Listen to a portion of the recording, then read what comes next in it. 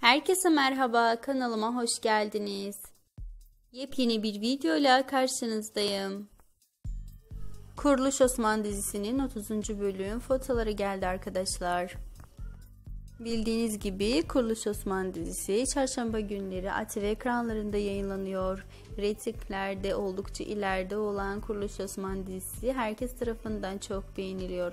Çünkü bir dönem dizisi ve dönem dizisi herkesin dikkatini çekiyor ve başrolde de Burak Özçivit olunca tabii ki durumlar değişiyor.